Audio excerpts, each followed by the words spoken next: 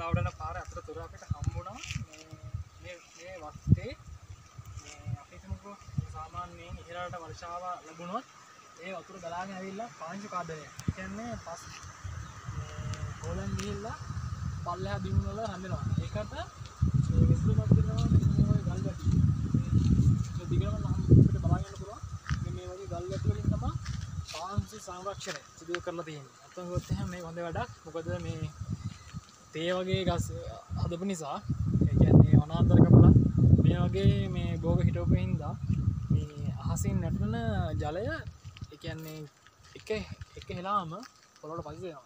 ඒක හින්දා පාංශු ඒ කියන්නේ අපි හිතමුකෝ පස් ඒ කියන්නේ පස නිරාවරණය වෙනවා මහ වැසි වලට.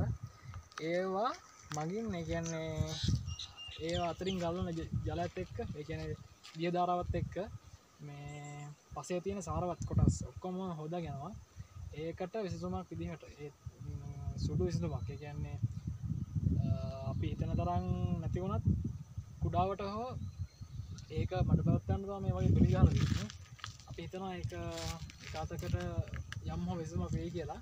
ඒත් එක්කම ඉහලින් තියෙන තේ වගාව. ඒත් එක්ක මීට පහලින් තියෙනවා කුරුදු වගාවක්. වට අපට පේන ඇති අර අර පහලින් පිහිරලා තියෙන්නේ කියන්නේ වර්ෂාව අඩු කාලවලදී ජලය ලබා ගැනීම එකන ජල සම්පාදනය ජල ජල අවශ්‍යතා ඉටු කිරීම දහා කපු වලක් තමාර පහින් පීරා තියෙන්නේ.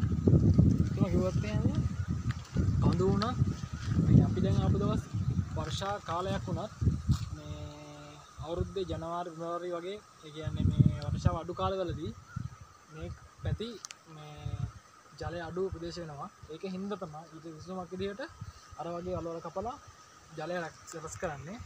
අපි ඉළඟ ඉඩුව එකේදී වැතලාවේ තවත් සුන්දර තැන් එක්ක හමුවෙන්නේ